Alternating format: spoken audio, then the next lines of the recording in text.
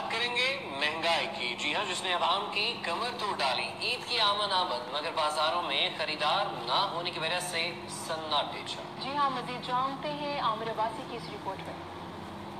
عید کی آمد ہے اور پاکستان بھر کی طرح احمد پور شرکیہ میں بھی چند لوگ عید کی خوشیاں سمیٹنے میں مصروف عمل دکھائی دیتے ہیں۔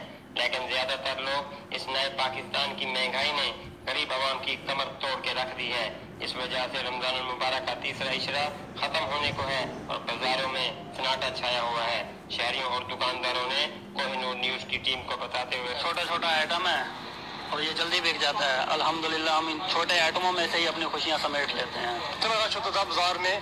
ہمیں ٹائم نہیں ہوتا تھا پانی پینے کا انسان روز کھولنے کا اتنا ٹائم نہیں ہوتا۔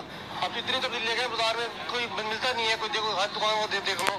کوئی موبائل لے کے بیٹھا ہے کوئی سویا پڑا ہے، کوئی کسٹمر نظرتے نہیں ہے بازاروں میں، جس وجہ سے ویرانہ چھایا پڑا بازاروں میں۔ مہنگائی جتنی ہوتی جا رہی ہے سمجھ نہیں آ رہی۔ جیسے جیسے عید نزدیک ہوتی جا رہی ہے، ویسے ہی بازاروں میں ویرانی چھائی ہوئی ہے۔ مہنگائی کے اس طوفان نے غریب عوام کو پریشان کر دیا ہے۔ اتنی مہنگائی ہونے کے باعث غریب عوام عید کی شاپنگ کرنا تو دور کی بات ہے۔ دو وقت کی روٹی کھانا بھی مشکل ہو گیا ہے۔ شہریوں نے وزیر اعظم پاکستان کو مہنگائی کنٹرول کرنے کا مطالبہ کیا ہے۔ کیمرہ مین محمد عدنان کے ساتھ عامر عباسی، کوہنور نیوز، احمد پوشر کیا؟